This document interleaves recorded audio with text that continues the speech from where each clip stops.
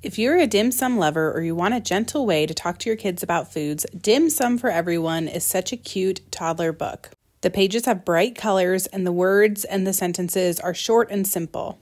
This is a board book, so it has thick and sturdy pages. It's definitely a durable book. And if you are a foodie or a dim sum lover, this is such a fun book to introduce your kids to this cuisine as well. At the back of the book, there are two pages that talk about dim sum and the Chinese culture of eating dim sum. And so, if you're looking to kind of start that conversation with your family, this is a good book and good pages to reference as well.